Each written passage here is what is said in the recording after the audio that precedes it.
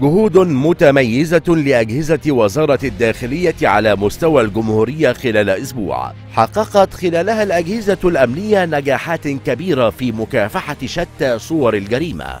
فمن خلال استهداف وضبط العناصر الإجرامية شديدة الخطورة أسفرت جهود الأجهزة الأمنية عن ضبط 325 عنصرا إجراميا شديد الخطورة ومصرع عنصرين بنطاق عشر مديريات أمن. والسابق اتهامهم في العديد من القضايا أبرزها. سلاح ومخدرات وسرقة وخطف وقتل وإحراز ذخائر وشروع في قتل. وضبط معهم 216 قطعة سلاح ناري وكميات كبيرة من الطلقات مختلفة الأعيرة والمواد المخدرة وعدد من الأسلحة البيضاء.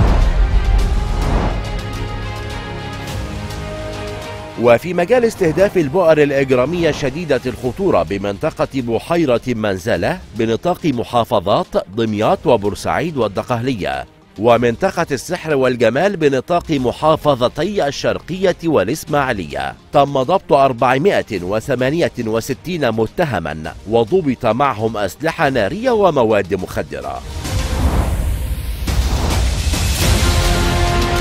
وفي مجال ضبط الأسلحة النارية والبيضاء غير مرخصة ضبطت أجهزة وزارة الداخلية خلال أسبوع 496 قطعة سلاح ناري أبرزها. 77 بندقية و54 بندقية آلية و34 مسدسا و331 فرد محل الصنع وطلقات نارية مختلفة الأعيرة بلغت 1278 طلقة متنوعة إضافة ل 1266 قطعة سلاح أبيض.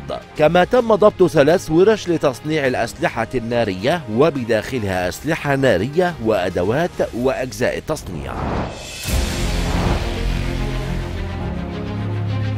وترسيخا لمبدأ سيادة القانون نجحت أجهزة وزارة الداخلية في مجال تنفيذ الأحكام في تنفيذ 408563 حكما قضائيا من بينها. 1559 حكم جناية و151702 حكم حبس. و197644 حكم غرامة و57658 حكم مخالفة.